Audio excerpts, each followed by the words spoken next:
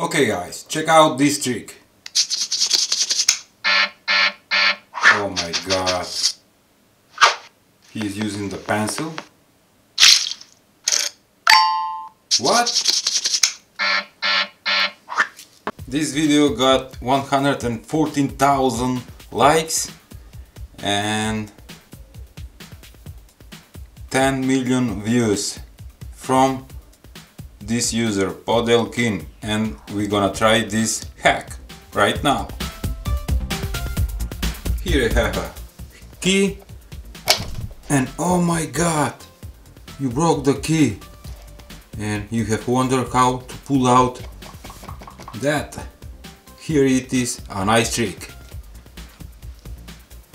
Only you need is a plastic pen, remove the tip With lighter, just melt the plastic for about 10 seconds. I think it's enough. Okay, and push it really hard. Pull out! What?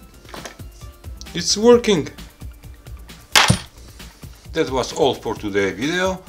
Please check my channel and subscribe. I have hundreds of DIY videos.